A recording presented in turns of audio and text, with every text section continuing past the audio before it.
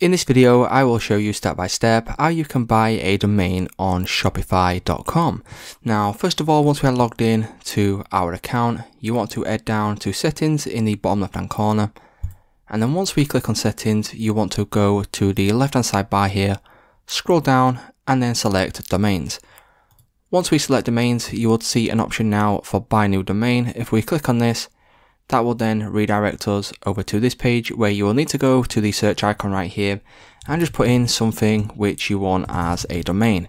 As you can see, I've put in a domain that I would like. If it's available, it will come up and then you can look through the ones which are available. So you've got .net, .org, .store, .shop. Choose the one which you like and which is most relevant to you. And then once you're happy, you can then click on buy domain.